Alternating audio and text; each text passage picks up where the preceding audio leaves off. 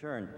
Now, today we're in Psalm 79. We're going to be looking at Psalms 79 through 81 as we continue our, our study through the book of Psalms. So let's begin reading together in Psalm 79, and, and I'll read the psalm to you, and we'll get into our study this, uh, this evening. Psalm 79, beginning at verse 1. This is a psalm of Asaph. Asaph, the psalmist, writes, O God, the nations have come into your inheritance, your holy temple they have defiled. They have laid Jerusalem in heaps. The dead bodies of your servants they have given as food to the birds of the heavens, the flesh of your saints to the beasts of the earth. Their blood they have shed like water all around Jerusalem, and there was no one to bury them. We have become a reproach to our neighbors, a scorn and derision to those who are around us. How long, O Lord, will you be angry forever? Will your jealousy burn like fire? Pour out your wrath on the nations that do not know you, and on the kingdoms that do not call on your name, for they have devoured Jacob and laid waste his dwelling place. Oh, do not remember former iniquities against us. Let your tender mercies come speedily to meet us, for we have been brought very low. Help us, O God, of our salvation, for the glory of your name, and deliver us and provide atonement for our sins for your name's sake. Why should the nations say, Where is their God? Let there be known among the nations in our sight the avenging of the blood of your servants which has been shed. Let the groaning of the prisoner come before you according to the greatness of your power. Preserve those who are appointed to die. And return to our neighbors sevenfold into their bosom their reproach what they have reproached you, O God. So we, your people and sheep of your pasture, will give you thanks forever. We will show forth your praise to all generations. Now, again, as I mentioned as we begin this psalm, this is a psalm of Asaph. And basically, as you see, as we read through this psalm, it's a psalm and a cry, really, for God to deliver the nation from her enemies. And it's also a cry to God uh, to avenge Israel uh, for all that she has been suffering during captivity. You see, Israel has been taken, when this psalm is written, Israel has been taken into Babylonian captivity. God had allowed the nation of Israel to be taken into, into captivity because she had forsaken her God. Isaiah the prophet in Isaiah 39, verses 6 and 7 said this He said, Behold, the days are coming when all that is in your house and what your fathers have accumulated until this day shall be carried to Babylon. Nothing shall be left, says the Lord. And they shall take away some of your sons who will descend from you, whom you will beget, and they shall be eunuchs in the palace of the king of Babylon. And so Isaiah had prophesied that, and Nebuchadnezzar, the king of Babylon, actually fulfilled that prophecy. We know through history that he actually mounted three attacks on the nation. In 605, 597, and 586 BC, Babylon, through successive invasions, actually destroyed the nation of Israel. Israel was laid waste. And as, uh, as we were just reading a minute ago, where he says in verse 1, Your holy temple they have defiled, Israel was laid waste and the temple was ransacked and the temple was destroyed. In 2 Kings, in chapter 25, verses 10 and 11, the Bible says, All the army of the Chaldeans, or the Babylonians, who were with the captain of the guard, broke down the walls of Jerusalem all around. Then Nebuzaradan, the captain of the guard, carried away captive the rest of the people who remained in the city and the defectors who had deserted to the king of Babylon with the rest of the multitude. So they went into, into, into captivity there in Babylon. Now, I want to read to you, if you take notes, it's found in Lamentations, in uh, Lamentations chapter 1. I'm going to read to you a little bit about uh, description of what was taking place, because even as we're reading here, um, we read the psalmist says, uh, Your holy temple they've defiled, they have laid Jerusalem in heaps. The dead bodies of your servants they've given as food for the birds of the heavens. He says, The flesh of your saints to the beasts of the earth, their blood they have shed like water all around Jerusalem. There was no one to bury them. We become a reproach to our neighbors, a scorn and derision to those who are around us.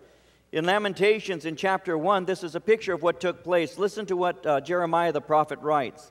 Jeremiah wrote the book of Lamentations, and he says this in chapter 1, verse 1 How lonely sits the city that was full of people!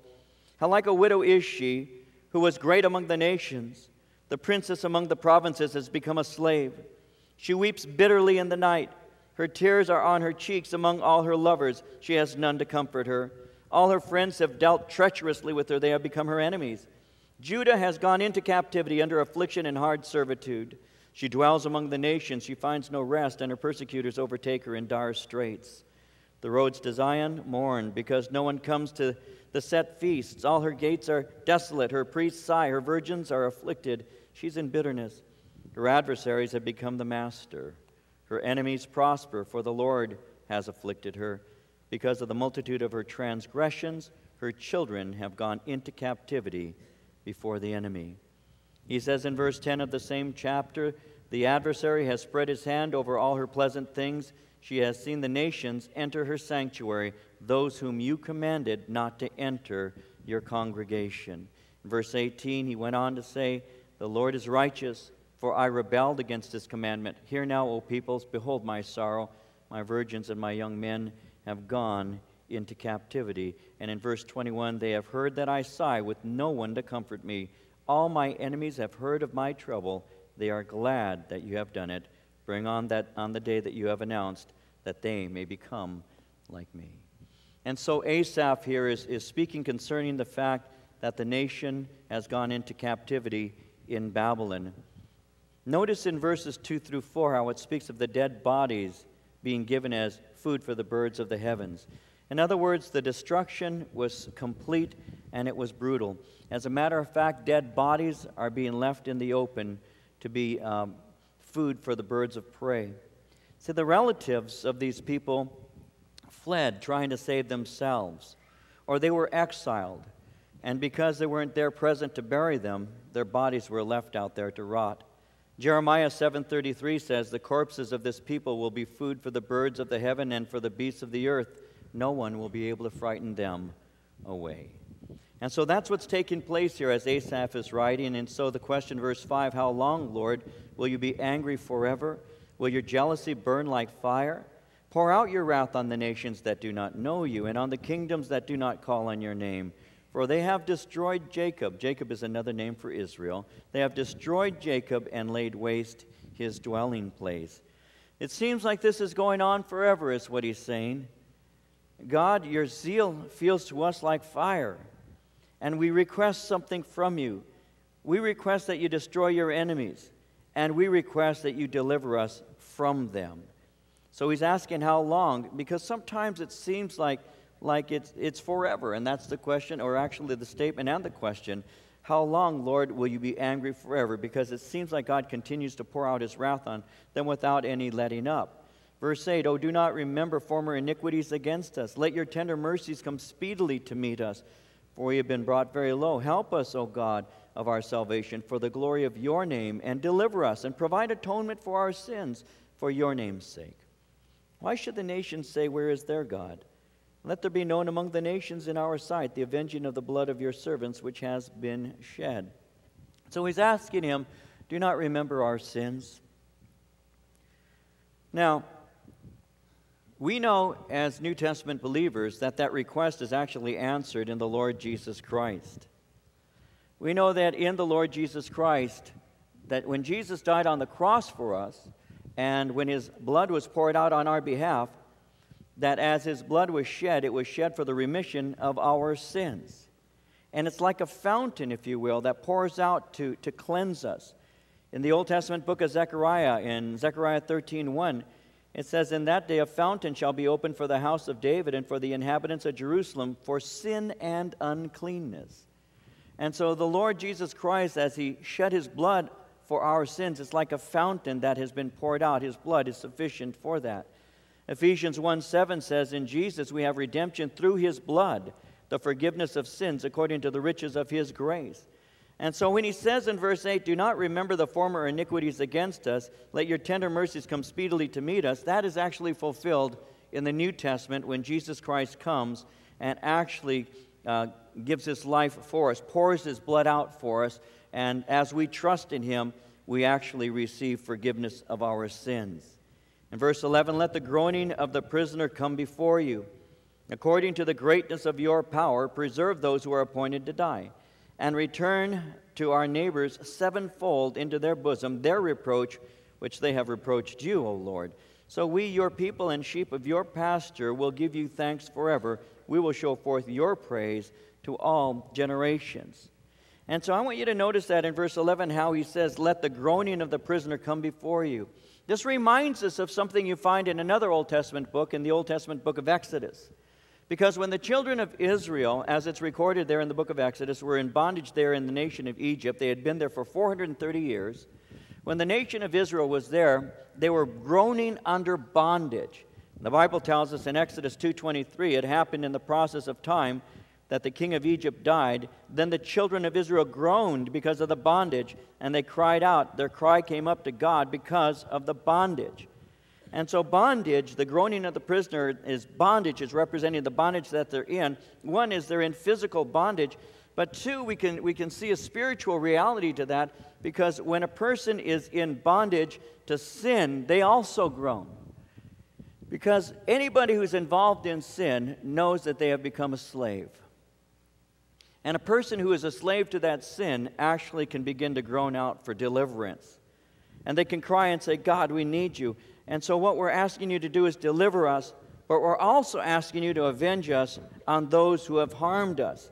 That's what he means in verse 12 when it says, Return to our neighbors sevenfold into their bosom. The number seven in, in the Bible speaks of perfection, and so he's saying, I want you to completely avenge us. And as you do, as you work on our behalf, as you deliver us, as we begin to understand that we have our sins forgiven through confession and turning to you, then we're going to show forth your praise, not just amongst ourselves, but we're going to show forth your praise to ensuing generations. And once again, I'll say this briefly because uh, we need to move into Psalm 80. But once again, one of the things that I encourage every one of us in this room to, to really take to heart tonight and to live this out is the reality of the fact that we have been called by God not to be saved just by ourselves, but we need to remember that we were saved to be part of a community, that we are part of the body of Christ. And so we have community life. And beyond that, we have been called by God, instructed by God in the New Testament to take this good news, this gospel message that talks about our sins being forgiven and us having a right relationship with God and our, our names being written in the Lamb's Book of Life and, and heaven being our home and we're just journeying through this life right now, we've been called by God to take that message and to give it to other people. See, when I first got saved, when I was a brand new Christian, I got saved at, at the age of 20 and all. When I first got saved, I went into the back room there. There were 4,000 or so people seated on the ground. I was one of the 10 or so that stood up that day to give my heart to Christ, at least at the second invitation. As I stood up there and, and, I, and I prayed with that evangelist to open my heart to the Lord, I went into the back. And they took us into the back room so they could share with us a little bit. And there was a young man who was sharing with me. And he began to share with me some very basic things about what it means to be a believer or a Christian. And as he was sharing with me, he said there were some things that I needed to do. One, I was supposed to start reading the Bible, because if you read the Bible, God is speaking to you and he's communicating his mind to you, and that's how he's going to direct your footsteps.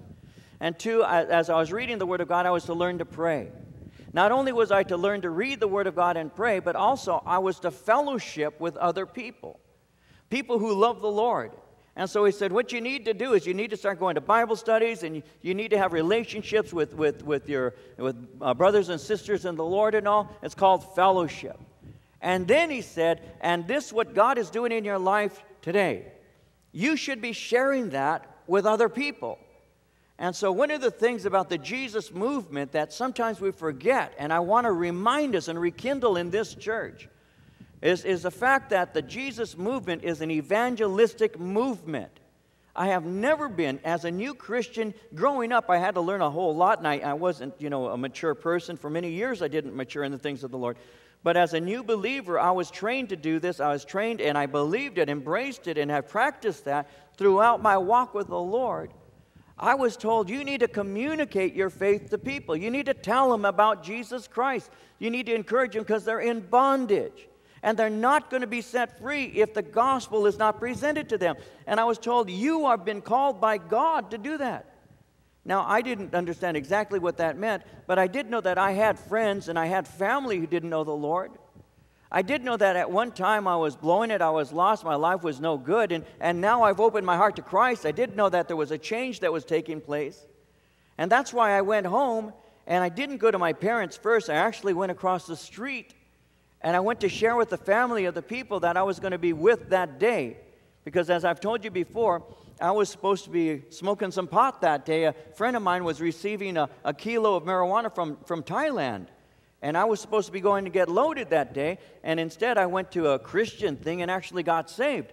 And so when I came back, instead of going into the house to talk to my mom and dad and, and my sister Madeline, the first thing I did is, is my friends dropped me off. I walked across the street, I went to the house, and I went looking for my friends. And, and they weren't there, but their mom was there, and some of the younger sisters and brothers were there. And I, and I walked into the house and I knew absolutely nothing. I mean, how much can you know in a drive from Hollywood to Norwalk? I mean, how much information can you have? You know, I had no information other than, hey, I gave my heart to Christ.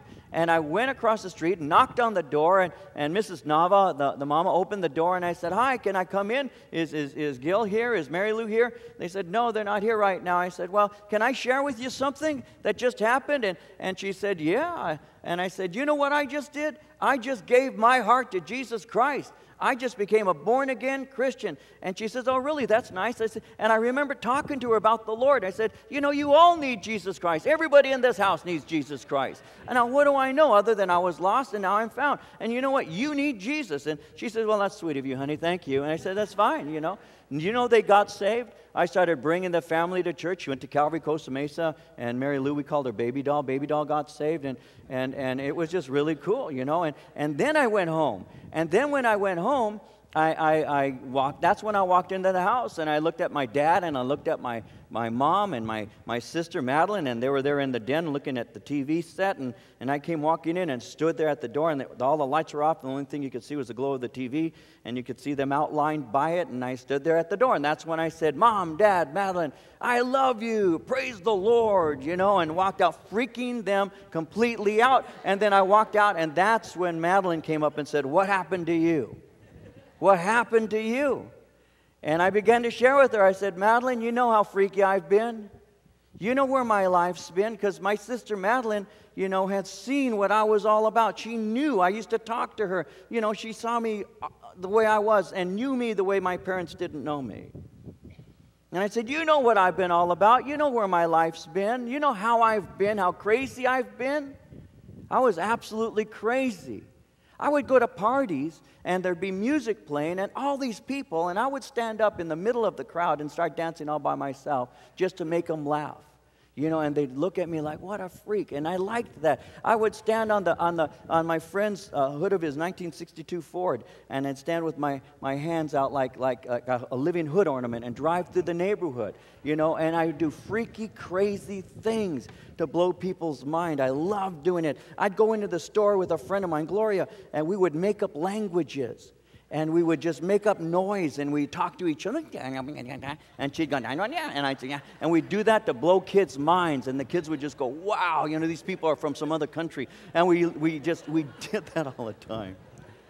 We, we did that all the time. I, I had my parents had a den and they had a bay window and, uh, and had drapes that we could close it up with and we had my dad's uh, easy chair. He had a La-Z-Boy that was a rocker, and I would put Gloria in the rocker, and I would turn her so her back and the chair's back was facing the bay window, and I would wait for people to walk by.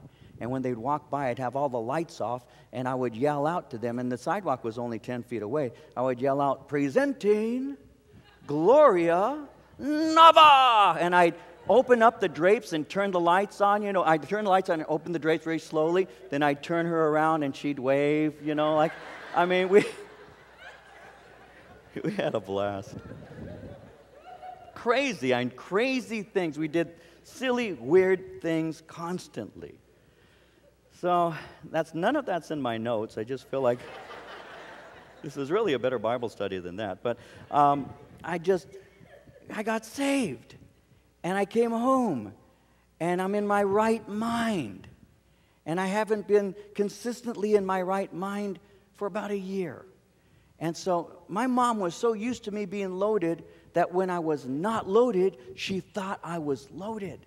And so, you know, that's why she told my dad, smell his breath, Frank, he's on something. And um, you know what happened? I was taught something that I have that I've never stopped doing that I've never stopped doing. I was taught that if Jesus changed your life, tell people about it. That's the heart of Calvary Ministries, guys. That's the heart of the Jesus movement. It's just out of the abundance of your heart, your mouth is going to speak. And you can say, you know, once I was lost and now I'm found. Once I was blind, but now I see. You want to know something? The Lord, through his power, has transformed me. And I didn't become religious. I just, I got to know God. I came to realize that God loves me. And, and basically, as we come to know that, we will show forth your praises. Not only will we show forth your praises to our generation, but we will show forth your praises to future generations too. We're going to live consistently for the Lord, and what God has given to us, we will give to our children. And we pray, should the Lord tarry, that our children will love Jesus and give that to their children, you see. And so that's how it works. So he's saying, Lord, he's saying, deliver us, forgive us, avenge us of our enemies who have placed us in this horrible position of bondage. Though we deserve it, we ask that you would forgive us. And as you do, we will give your praise to our generations following. And that's the way it works. And that's what we ought to be doing today. I encourage you, you know, to do that. As, as a, a kid who, who only read comic books, and I, I never read anything other than comic books, you know, and I wasted several years of my life in drugs and alcohol and and and and, and, all. After getting saved, starting going to college, and and I'm, I'm sitting there with these PhDs, and and I and I'm just a dumb, dumb kid with a D minus average in high school, and I'd look at these professors, and I would say, Lord, someone's got to tell them about you. And I would actually wait for somebody else in the class to do it. So, Jesus, may there be somebody here who will do that. Then I finally realized Lord was saying, There is. it's you. so you better say something. And I have to tell you, I was nervous. And I have to tell you, I was afraid. I have to tell you that my heart would beat quickly when I would sit there and I'd hear something being said that I just knew there was a better way than that. I can still remember, I'll give you one more illustration as to why that's so real to me. I'm sitting in a class, it's a political science class. The professor says to us, every person is going to have to give, I'm going to give you a word, and you're going to have to give to the class five minutes on that word. So be prepared, and I will call you and give you the word. And I sat there and sat there uh, day after day, class after class, and I hadn't been called. And then finally one day, he says, uh, Rosales, it's your turn. And I go and stand in front of this class and my peers, and he looks at me, he said, Your word is freedom.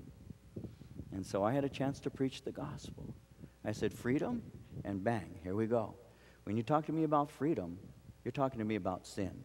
And you're talking to me about Jesus Christ who sets us free from sin.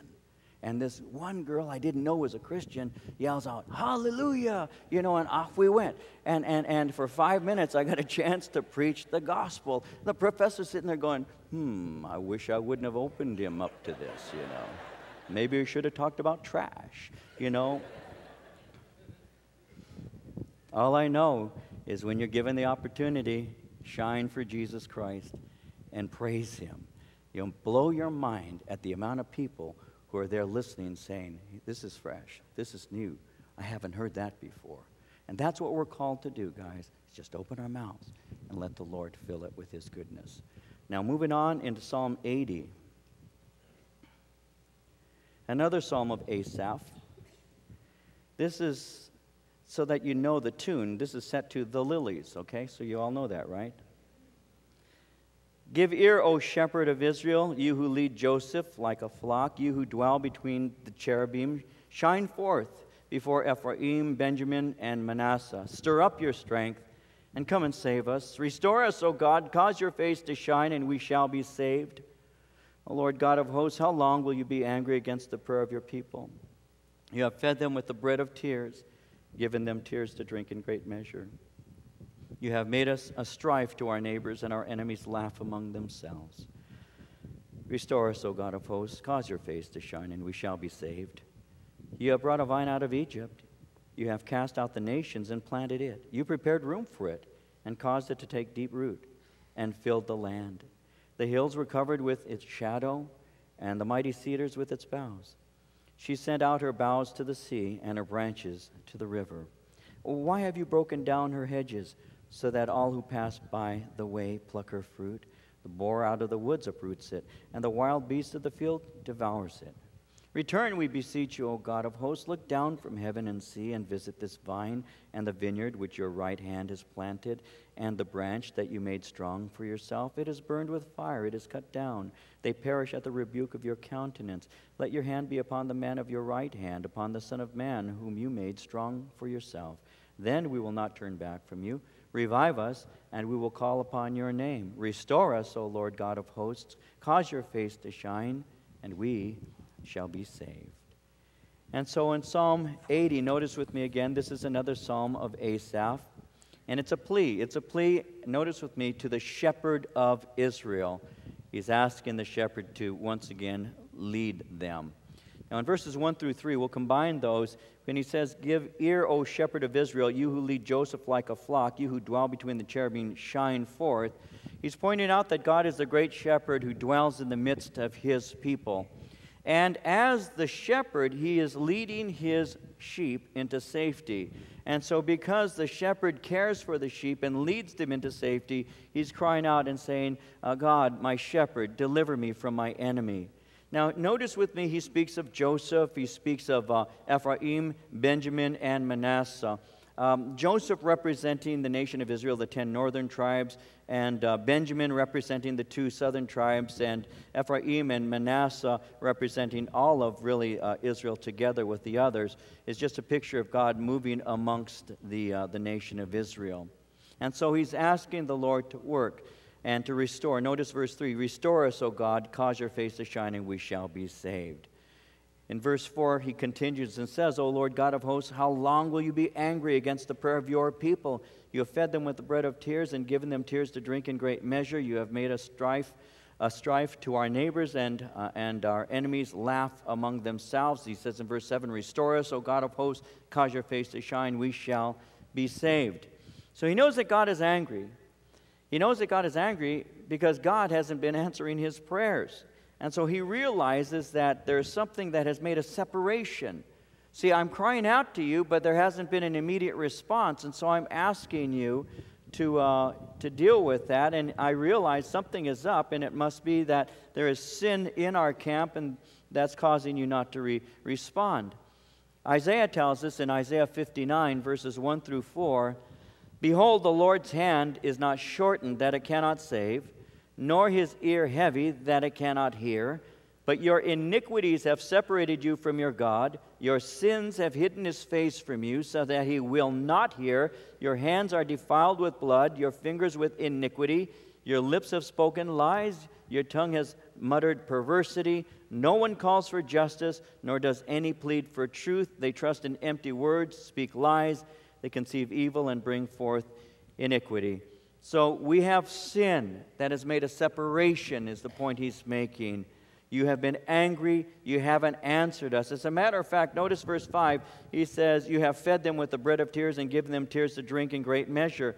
Instead of taking us into the green pastures, instead of causing us to drink of the still waters, as a shepherd does, we end up mourning over all of this. And not only that, but notice that the enemies here, verse 6, you have made us a strife to our neighbors, our enemies laugh among themselves. The enemies are mocking them. The enemies are mocking them because it seems that their faith in God, the relationship with God, is really useless. I was thinking about this today. And I'll, I'll say this briefly, but I observe this even in our day that those who are not friends of God, those who are not friends of the Christian message, those who are not believers, um, they do still mock Christians, especially those who fail. Um, without going into a lot of detail and, and pushing this too far, the fact is, is that if you have somebody do something that is wrong, especially somebody who's well known, and recently, um, you know, we see Jimmy Swaggart making a comment, it makes it to the front page, and and broad brushes every believer through the comments that he makes. And if you've been reading the news or watching the news, uh, then you'll see that that happens and it happens regularly. Uh, you read in the newspaper concerning a certain individual who's the head of a television um, empire, Christian TV empire, and paying off somebody because the guy is alleging that he had a relationship with him in a homosexual fashion. He pays out of his his uh, assets $425,000. And if you read the news, it's in the Times, it's, it's there being presented to you. And once again, you have you know, talk show hosts or you have comedians who, who jump on the bandwagon and present these people and say jokes about them. They mock our faith, and that's what happens. And that's what it says here in verse 6 when it says, Our enemies laugh among themselves. It still happens. It still happens today. In spite of the fact that there are so many who love the Lord and are living great lives. In spite of the fact that there are so many ministers who are doing well, it only takes one or two well known ones to, to cause all the rest of us. Uh, you know, to look kind of bad. I've shared this with you before, and perhaps some of you haven't heard this, so allow me to repeat this. Many of you will remember me saying this to you. Many years ago now, um, Marie and I went out to, um, to look at a new van. Our children were young at that time, and we wanted to get a van, and so we went to a particular dealer, and uh, I was uh, I saw this van, and I said I'd like to like to you know test drive it, and so Marie climbs in the back seat where she likes to drive, and and, and I was driving, and uh, and the salesman is seated next to me, and as we're driving, um, you know he wants to find out whether I have money to pay for this van, so he asks me, uh, "What do you do for a living?" And I remember as I was driving, whenever anybody asks me that, you never know what they're going to say when you tell them what you do. And I was driving, and he says, What do you do for a living? And I said, I'm a, I'm a pastor. And it gets quiet. You know, it always gets quiet, so it gets quiet. And he says, Oh, pastor, huh? He said, Yeah, pastors, uh, a lot of them are thieves. And I thought that's a pretty good way to sell a vehicle. Um, a lot of them are thieves, they steal. And I said, Really? I'm driving. Really? Yeah, you know, I just stole out of the poor box to buy this van. No, uh, really?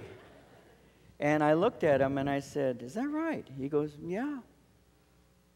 So I, so I kept driving and I said, You know, the last three cars that I bought were sold to me by lying car salesmen. I said, But you're not a lying car salesman, are you? He says, No, sir, I'm not. I said, You're an honest car salesman, aren't you? He says, Yes, I am. I said, Do you know there are 500,000 pastors in the United States? And the overwhelming majority of them love the Lord and serve Him faithfully? Did you know that? He said, No, I hadn't known that. I said, Well, that's the truth. I said, You're an honest car salesman, and I'm an honest pastor. It's nice to meet you. You know, I think sometimes people are just looking for opportunity to mock our faith. They, they are. You know, it's unfair pressure on you because you're a human being. I mean, you are going to blow it the way that I, I used to before I became perfect. No, you're going to, just like me, you're going to blow it. And, and, and even if you don't, even if you, you, you can even be accused of blowing it when you're not. I was unloading a truck one time. I was working on the dock and I was unloading a truck, and I had been witnessing to my boss. And uh, I picked up this box. I turned around. I started to walk with it, and I, I didn't see a box in front of me, and it, started to trip me. And I put my foot on the box, and I slid it out of my way. I shoved it out of my way, and I, as I started to walk past it, my boss happens to walk past the uh, the the. Uh, the tailgate there, and he looks at me and he says, Hey, you're a Christian. You're not supposed to get mad and kick boxes around like that. I said, Shut up, punk. No, I didn't. get over here. You're not a box. I'll kick you too. no, I'm holding this thing and I'm thinking, but I didn't, but I wasn't doing that. It's not that I couldn't, but I just wasn't at that moment. But that's just the way it is, you know. And, and there are people who are looking to make fun of your faith. They're looking to find something wrong with it. They're enemies. And that's what he's talking about. Our enemies laugh among themselves. Verse 7 Restore us, O God of hosts, cause your face to shine, we shall be saved. You have brought a vine out of Egypt, you have cast out the nations and planted it, you prepared room for it and caused it to take deep root and filled the land. The hills were covered with its shadow, and the mighty cedars with its boughs. She sent out her boughs into the sea and her branches to the river. Why have you broken down her hedges, so that all who pass by the way pluck her fruit? The boar out of the wood uproots it, and the wild beast of the field devours it. So he's just reminding uh, the Lord as he writes that, that God brought Israel out of, uh, out of Egyptian bondage and brought them into Canaan or the promised land. And in doing so, he was caring for them even as a vine dresser cares for the vine. At one time, they were prospering, and he points that out. At one point, they were prospering, but now they're unprotected, and now they are abandoned, and he's wondering why that happened. Well, the reason it happened is Israel became a wild vine. Israel was not yielding herself to the Lord. In Isaiah 5, Isaiah wrote and said this Let me sing to my well beloved a song of my beloved regarding his vineyard. My well beloved has a vineyard on a very fruitful hill. He dug it up and cleared out its stones and planted it with the choicest vine. He built a tower in its midst and also made a winepress in it. So he expected it to bring forth good grapes, but it brought forth wild grapes. And now, O inhabitants of Jerusalem and men of Judah, judge, please, between me and my vineyard. What more could have been done to my vineyard that I have not done in it? Why then, when I expected it to bring forth good grapes, did it bring forth wild grapes. And now, please let me tell you what I will do to my vineyard. I will take away its hedge, it shall be burned, break down its wall, it shall be trampled down. I will lay it waste, it shall not be pruned or dug. There shall come up briars and thorns. I will also command the clouds that, they, uh, that there rain no rain on it. For the vineyard of the Lord of hosts is the house of Israel.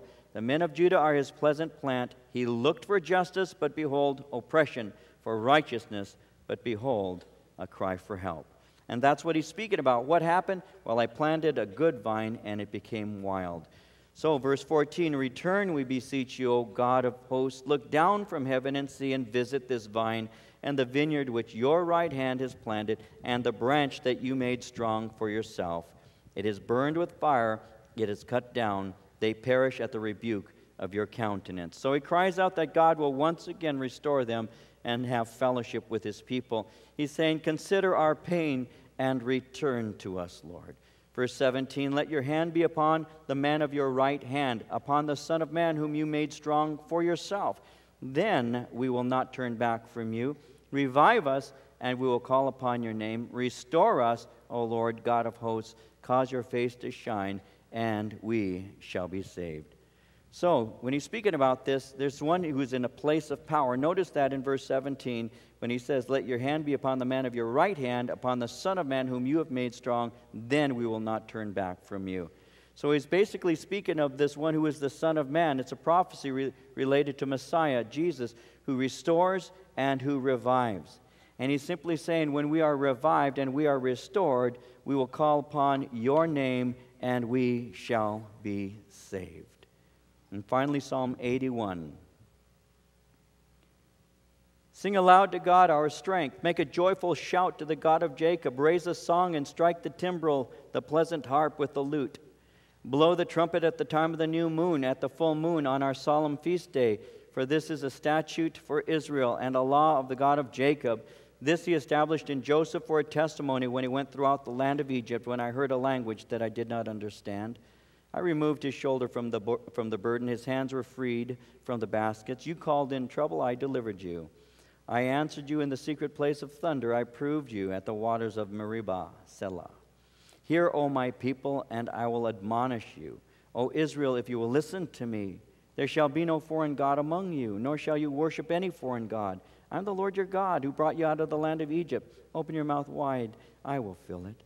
But my people would not heed my voice. Israel would have none of me. So I gave them over to their stubborn heart to walk in their own counsels. Oh, that my people would listen to me, that Israel would walk in my ways. I would soon subdue their enemies and turn my hand against their adversaries. The haters of the Lord would pretend submission to him, but their fate would endure forever. He would have fed them also with the finest of wheat, and with honey from the rock I would have satisfied you. Again, this psalm is a song of deliverance, a song of Asaph. It's a song that reminds the people of God how God had delivered them out of bondage in Egypt. Now, as you look at the first few verses, and I'll just, I'll just compress them, Notice how he says, Sing aloud to God our strength, make a joyful shout to the God of Jacob.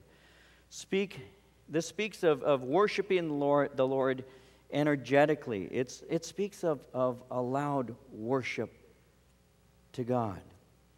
And, and without encouraging anybody here to do anything fleshly or carnal. As I read, especially in the Psalms, and we see this often, we'll see it more often as we continue and conclude ultimately in these, in these, uh, in these Psalms, you're going to see that worship is something that, that is described very often as being energetic and vibrant. You know, there are various ways that you worship the Lord, of course. There are times that it's contemplative, almost meditative. There are times that you sing quietly and softly unto the Lord in a worshipful sense. And there are other times that you raise your voice to the Lord. You can raise your hands to the Lord and you worship Him just with all, this, all the energy of your heart. You know, and I think that's a good thing. I think it's a wonderful thing to sing to the Lord with a full voice. I really do.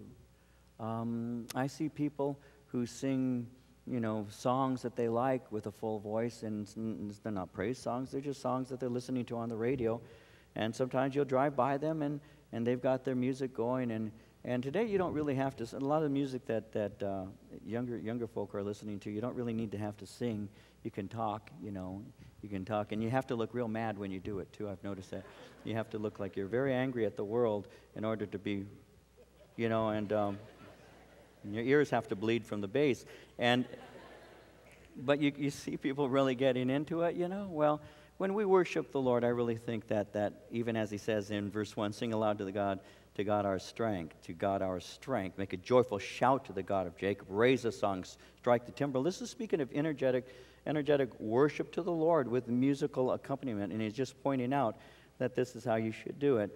The psalmist in Psalm 47 1, remember what he said? He said, Clap your hands, all you people. Shout to, to God with a voice of triumph. And so you sing to the Lord with all of your heart. And that's the point that he's making here. Um, in verse uh, 6, he said, speaking concerning uh, the children of Israel when they were in Egyptian uh, bondage, I removed his shoulder from the burden. His hands were freed from the baskets. This speaks of slave labor. You called in trouble. I delivered you. I answered you in the secret place of thunder. So he's speaking concerning the fact that he had released them from the burden of, of slavery. And again, I, I mentioned this to you earlier, uh, but it's so important. Let me say it again. Uh, Jesus Christ came to set the captive free. No matter what program you go through, you can have a five step program, a 10 step 12 step program. I understand the philosophy behind those things and all. I took a one step program, one step to the Lord, one step. You know, and when, when I got saved, again, forgive me if it sounds like I'm just speaking of my own testimony, you know, but that's, that's a, a lot of who I am, obviously, harkens back to those initial times of, of discovering the things of God. When I got saved, I, I didn't have anybody saying to me, now listen, Dave, you've been drinking for a long time now and you've been doing drugs for, for a, a, good little while, a good portion of your life. So listen, you're going to relapse. And, and so when you do relapse, here's some booklets for you, and we have some recovery groups for you, and because that's going to happen. I didn't have any of that. Nobody told me that was going to happen. Nobody told me that. Nobody prepared me for that. You know what they told me? They said, You want to know something? Jesus Christ, by his power, sets you free. Did you know that God, the same Spirit who raised Jesus from the dead, did you know that he dwells in you now? Did you know that? No, I didn't know that. Did you know that? Did you know the Bible says you are the temple of the Spirit of God and, and the Spirit of God dwells in you? Do you know that? Man, that's, that's remarkable. Are you kidding me? Yeah, and you want to know, something? it's true. And, and the Bible says, if any man be in Christ, he's a new creation. Old things are passed away. Behold, all things are become new. Do you know that you are brand new in Jesus Christ? That that old David died with Jesus when he was on the cross? You were, you were, you were crucified with him. Did you know that? Paul said that I am crucified with Christ, nevertheless I live, yet not I, but Christ lives in me. And the life which I now live in the flesh, I live by, by faith in the Son of God who, who loved me and gave himself for me. I do not frustrate the grace of God, for if righteousness came by the law, then Christ has died in vain. Did you know that? Did you know that you can identify with Jesus Christ and his finished work on the cross? Did you know that you can live victoriously and that you don't have to return like a dog returns to the vomit, like a pig returns to the, the mud it was washed from? You don't have to do that. Do you know that now you have power in the Lord Jesus Christ and you can do all things through Christ who strengthens you? Did you know that? And when you know that, you can change. That's the bottom line. And that's what happened to me. You see, we live today so I was I was remarkably transformed because nobody told me it couldn't happen. Nobody told me it couldn't happen.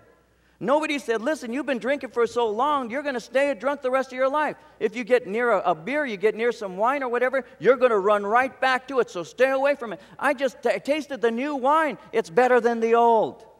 And there's no hangovers either, by the way. And, and I don't wake up the next morning wondering, what did I do and how did I get here? It's an entirely different thing. I'm telling you that the Holy Spirit of God in you will transform you. And, and, and, and you need to know that. You need to know that. Sin is bondage. It's bondage. You know, I, I, I, do a lot of ministry, you can imagine, and I've been doing this for 31 years, longer than that, really. I've been teaching 31 years and ministering longer than that. And I'm telling you, from, from what the Word of God says and the experience that I've had, I know that God can transform lives. Have no doubt about it. He does transform lives. It isn't because we became religious, it's because we got to the end of ourselves and said, I, There's nothing in me that's any good. I need help from God. I need help from God. I need help. You know, my, my, I'm breaking my parents' heart. I can't maintain a relationship with a girl because I keep hurting them. And they dump me because I'm a monster. I can't even be kind to people. I can't even be nice to people. I won't even hold the child. I wouldn't even hold my, hold my nephews. I don't want to get near. Leave me alone. That was what I used to say all the time. Just leave me alone. How come you're that way? Listen, if you're worried about me, you know, my mom would say this. My mom wasn't even a Christian, and my sister. And I remember one time my mom said to me, David, I'm praying for you. My mom told me that. I said, keep your prayers to yourself. You need to pray? You feel like praying? Pray for yourself. Just leave me alone. I don't need your prayers. I don't need your God. I don't need anything that you have. So just leave me alone. And that's how I was. You know, you see a man up here who's been transformed. Transformed. Because when I was a kid, man, I don't need you. I don't need anything you can do. I don't care. Just leave me alone. You're in bondage. All I needed was a bottle and some dope. That's all I wanted. Just give me some wine. Give me some beer. I used to take a half gallon of wine and a quart of beer when I was 18 I would mix them together, and that was how I started out my evening. 18. I could outdrink my father when I was 18 years old. I could drink my father under the table at 18. I drank almost a, a half a pint one time. By myself, I didn't even get high. I was 19. I was drinking so much and developing such a tolerance that I had to drink more and more to get a buzz. And you want to know something? When the Lord saved me, there was nobody running around saying, Oh, you're going to relapse. Oh, you better get hold of these programs because you know what? You're going to fail. All I was told is I could be more than a conqueror in Jesus Christ. I actually believed He forgives me of my sins. I actually believed I could be transformed because He said so. God doesn't lie.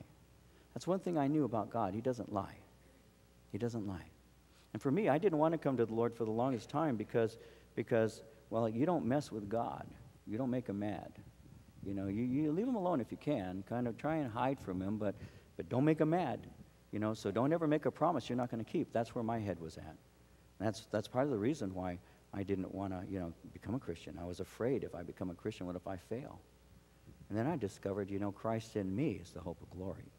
Him working in me is where it's at. He, he doesn't give me a command without giving me the power to fulfill it. He gives you the ability to do that which is pleasing to Him. He does that through His Spirit.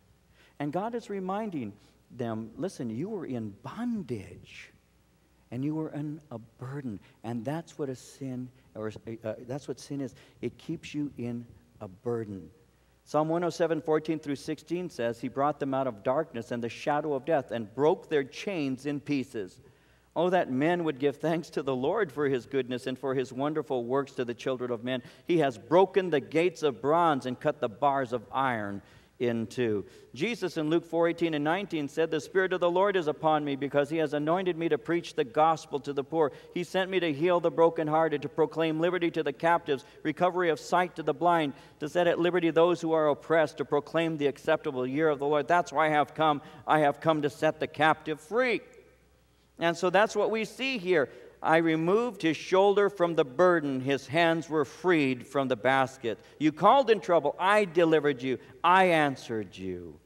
In verse 8, Hear, O my people, I will admonish you, O Israel, if you will listen to me, there shall be no foreign God among you, nor shall you worship any foreign God. I'm the Lord your God who brought you out of the land of Egypt. Open your mouth wide, I will fill it. So he's saying, I'm the one who provides for you abundantly. No false God ever did or ever could do that. All you need to do is open your mouth and I'll provide for you. I will satisfy your hunger. No false God can do that. You can go into religion all you want. You can pursue meditation. You can pursue anything, a pseudo Christian cult. You can go into Islam or Buddhism, whatever you want, and you will never have your needs met because only God can do that through His Son, Jesus Christ. He's the one who removes the burden from you. The Bible in Ephesians 3:20 and 21 says to him who is able to do exceedingly abundantly above all that we ask or think according to the power that works in us to him be glory in the church by Christ Jesus to all generations forever and ever. But he goes on in verse 11 My people would not heed my voice, Israel would have none of me. So I gave them over to their own stubborn heart to walk in their own counsels. If you don't want to have a relationship with me, if you don't love me, then I'll leave you alone. One of the things as I was preparing this study that I thought about is that the Lord doesn't force himself on us. He's a gentleman. He woos us, if you will. He, with with uh, loving kindness, he draws us, but he doesn't push himself on us. Then he goes on and says, Oh, that my people would listen to me, that Israel would walk in my ways. I would soon subdue their enemies turn my hand against their adversaries. The haters of the Lord would pretend submission to him, but their fate would endure forever. He would have fed them also with the finest of wheat, with honey from the rock. I would have satisfied you. So, you simply say, No, if you would only turn to me, I'd subdue your enemies and I would bless your life. I'm not going to abandon you completely, but I want to bless you and I definitely want to restore you. I will subdue your enemies. In verse 16, when he says, I will have fed them also with the finest of wheat, and I will bless your life. But what you need to do is you need to turn to me. You're not going to get what you're looking for from your false God, from your religion, or your human relationship. Only God can forgive sins. Because it's against God that you have sinned. Only God can forgive that sin. And when God forgives that sin, He restores you to a right relationship with Him. And all He's saying here, and I want you to see this, in verse 13 is that my people would listen to me, that Israel would walk in my ways. That's what I want. That's all I'm asking of you. My great desire is to bless you, to subdue your enemies. But you have to come back to me.